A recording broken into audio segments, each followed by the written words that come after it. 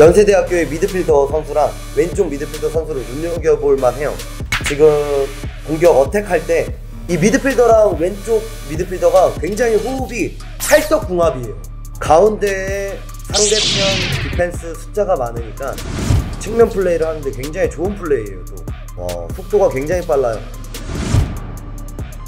와, 와 지금도 이 득점 장면 보시면은 계속 미드필더가 왼쪽 측면을 살려서 다시 또 왼쪽 미드필더 선수가 다시 미드필더한테 줘서 슈팅까지 나오는 모습이 득점으로 연결이 되네요. 야, 같이 유튜브를 하는 이유가 있네요, 또.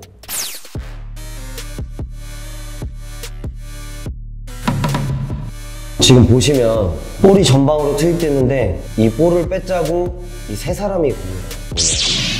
그래서 지금 보시면 우리의 수비를 도와줘야 되는데 이 도와주는 세 명이 없다 보니까 상대방의 공간이 굉장히 많이 납니다.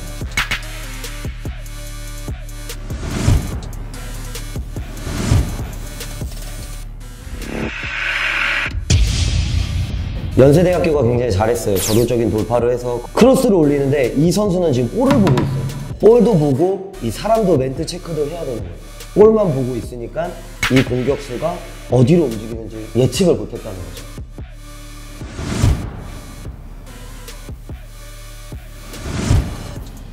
자 이런 상황 때는 이 선수한테 정말 잘 찔러줬습니다. 근데 이 선수는 서 있어요. 이 선수는 이쪽으로 빠져나와야 돼요. 그러면 이 수비를 달고 가기 때문에 이 선수가 공간적으로 더 활용할 수 있는 공간이 더 많아집니다.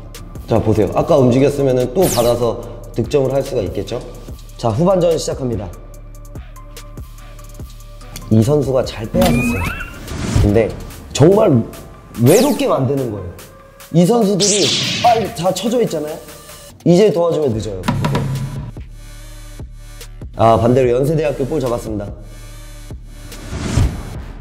아, 또 연세대학교의 어, 볼 관리가 굉장해요, 이 선수. 볼을 안 뺏기죠? 어, 연세대학교의 장점은 볼 가진 선수의 움직임보다 볼을 받으려고 하는 움직임이 굉장히 좋아요. 공간을 파고드는 움직임, 상대 공간을 또 노리는 움직임들이 굉장히 좋습니다.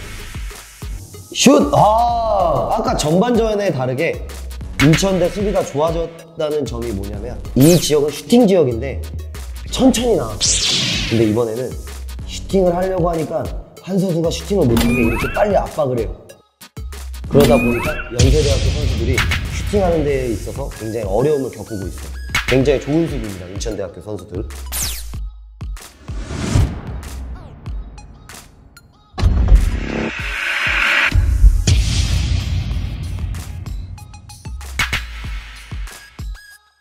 자 여기서 크로스 올라가죠. 자 패스 들어갑니다. 슈팅! 야 이건 정말 칭찬해 줄 만해요. 연세대학교 20번 선수 잘 보시면은 프로 선수들이 하기도 어려운 second ball 문전 쇄도 야 집중력이 굉장한 선수예요. 자 반대로 인천 선수들은 조금 아쉬워요. 이 슈팅을 때렸을 때 시선이 다 볼만 보고 있다는 거죠. 만약에 볼도 보고 이 사람도 체크를 했다면은 이런 실점 장면이 안 나왔을 거라고 생각을 합니다. 지금 보면은 전후반 지금 저는 풀 경기를 보고 있는데요. 제가 말씀드리고자 하는 거는 연세대학교가 골 점유율이 굉장히 높아요. 지고 있기도 하고 점유율도 지고 있습니다. 그러기 위해서는 어떻게 대처를 하냐면요. 지역 방어보다는 대인 방어가 됐어야 될 것 같아요. 이 볼 점유율이 높은 선수들을 대처하려고 하는 방향은 지역 방어보다 대인 방어를 해야지 볼의 점유율을 조금 더 우리 팀 쪽으로 가져올 수 있다. 이런 얘기라고 말씀을 드릴 수가 있네요. SNUWFC 다울 자 동아대 여기 또 바짝 나와야 돼요. 바짝 나와야 돼요. 바짝 나와야 돼요. 슈팅 못 때리게. 다 슈팅 거리 슈팅 지역이거든. 아 수비가 또 견고하게 바짝 나와서. 어 드리블에서 치고 나오죠. 드루 패스. 아 굿패스. 야.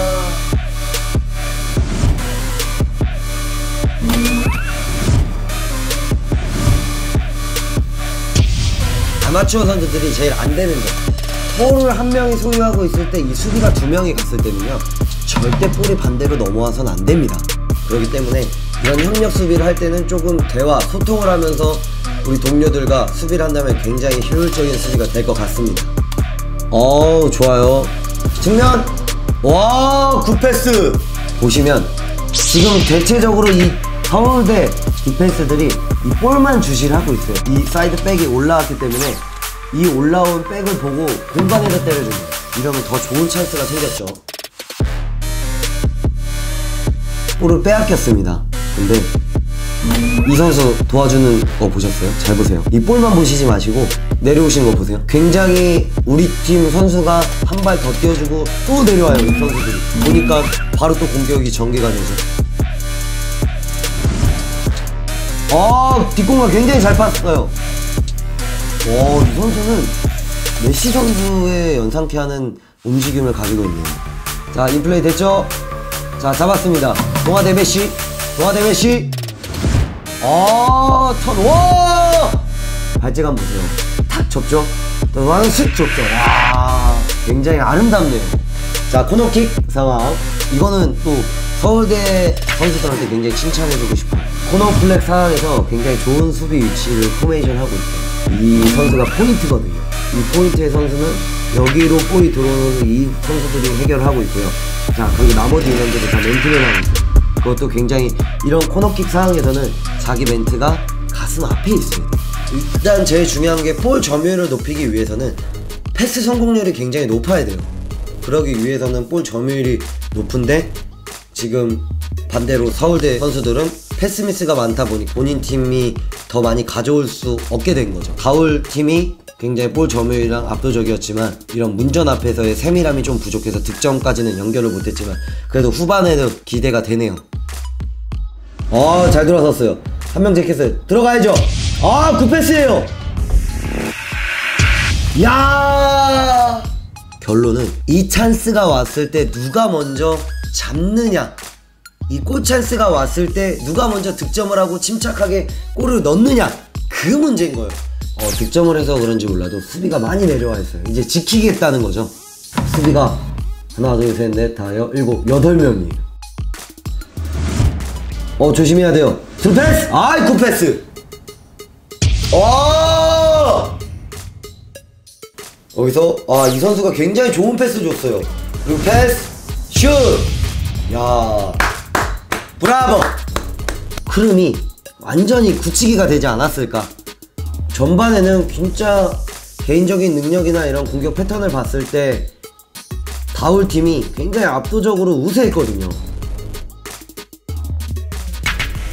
완전히 압도적이에요 이제 후반에 완전히 서울대로 넘어왔어요 분위기가 이첫 번째 경기와 두 번째 경기를 비교했을 때 어, 연세대 선수들이 첫 경기에서는 이겼어요 전반전서부터 계속 본인이 주도하고 싶은 흐름으로 가져와서 끝날 때까지 그 흐름을 잃어버리지 않고 승리를 거둔 것 같고요 그리고 두 번째 경기에서는 SNUWFC가 전반전에는 흐름이 굉장히 안 좋았어요 하지만 후반전에 완전히 바꿔버렸어요 전반전에 계속 수비만 하다가 후반전에 들어와서 우리 좋은 찬스가 딱 하나 나왔어요. 거기에서 득점을 성공을 시켜서 흐름이 완전히 넘어오기 시작했어요. 두 골이 들어가니까 이번에는 완전히 동아대 선수들이 무너지고 서울대의 흐름으로 완전히 싹 다 바뀌는 상황이었죠. 이래서 축구의 흐름이 굉장히 중요한 것 같아요. 먼저 선취골을 넣어서 흐름을 우리 위주의 흐름을 가지고 오느냐 아니면 실점을 당해서 우리가 쫓아가는 입장이 되느냐 이 차인 것 같습니다. 제가 이렇게 경기를 보니까 또 경기가 기다려지네요. 과연 4강에 올라간 팀은 누굴까요? 네, 하던 대로 하니까 이겼어요. 예상한 결과였고 네, 최선 다했고 되게 잘 나왔다고 생각해요. 모든 팀이 지금 8강에 올라온 팀이 모두 쉬운 팀도 아니고 열심히 했지만 저희도 열심히 했고 저희 팀끼리 발을 맞췄기 때문에 좋은 결과 이룰 수 있도록 열심히 노력하도록 하겠습니다. 오케이!